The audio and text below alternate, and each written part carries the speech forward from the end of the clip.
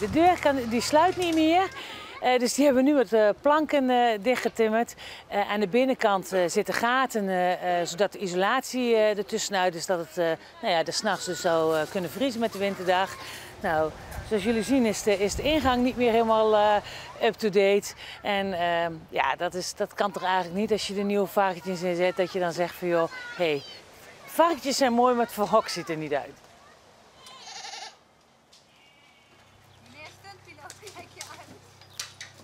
Dan weten we zeker dat we het in ieder geval uh, voor het grote gedeelte uh, rond kunnen maken.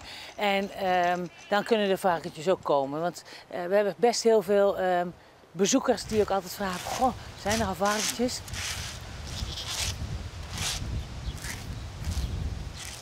Nou, ze zijn heel schattig. En, en ze zijn heel lief.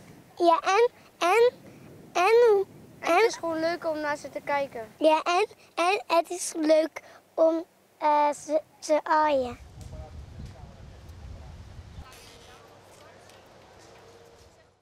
Hm, nou, zit terug, Norris.